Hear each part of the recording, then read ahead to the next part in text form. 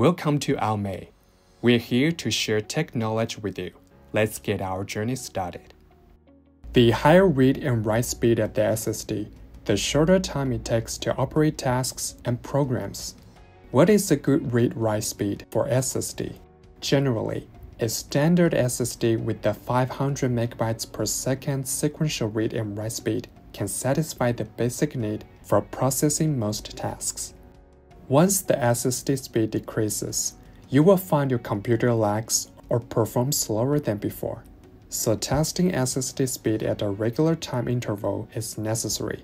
You can know whether you need to optimize it. Then how to test the speed and optimize the SSD. Please keep watching. Method 1. Task Manager Task Manager is the Windows building tool. Do as follows, you can easily get it done. Right-click Taskbar and choose Task Manager in the extended menu. In the pop-up window, you will see different tabs on the top. Click Performance. Choose the SSD drive on the left column. From here, we can easily know the speed now, but you may notice that the data is dynamic, changing with what programs are working on your background, so it's hard to know the specific state. Method 2 AOMEI Partition Assistant Pro. As we can see, you can only know a general and rough result of read and write speed from Task Manager. To test SSD speed more accurately, we recommend to you a professional third-party tool, AOMEI Partition Assistant Pro. It has two modes you can choose to test SSD or HDD speed. One is Simple mode. The other is Pro mode.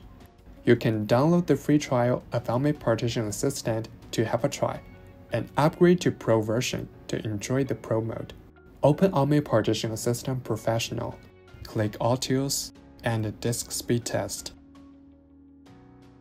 The default mode is Simple mode. Click Pro mode to get a more comprehensive test. In Pro mode, you can change the default settings as your condition. There are two test types random and sequential. The block size varies from 4 kilobytes to 8 megabytes. Queue number can be selected from 1 to 512. Thread number ranges from 1 to 64.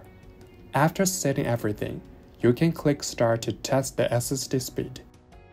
When the test stops, you can see the result directly and also you can export the result as a screenshot or text. After SSD speed test, if you find the speed doesn't meet your needs or it's slower than before, you may want to speed up it. There are many ways you can search for to help you optimize SSD in Windows. Since you have installed AOMEI Partition Assistant to test the SSD speed, partition alignment should be your best choice. Now let's see how it works. Run the software, choose the SSD and right-click one of its partition, and select Advanced. Then click Partition Alignment. In the pop-up window, you can set partition alignment to 4096 sector. If you mentioned that the current partition is already optimized, thus there is no need to align it again, you can choose another partition to optimize the SSD drive.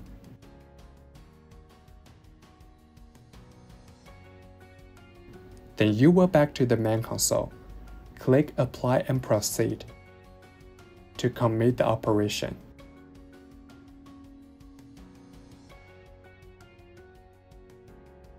Now you have learned how to test SSD speed in Windows.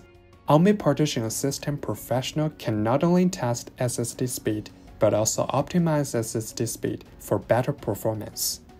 Moreover, you can enjoy more powerful functions like transfer OS from HDD to SSD, convert HDD or SSD between MBR and GPT. It's worth to have a try. Want to know more about AOMEI? Looking for more tech knowledge? Just subscribe us and leave comments. We're here to help you with your any issues.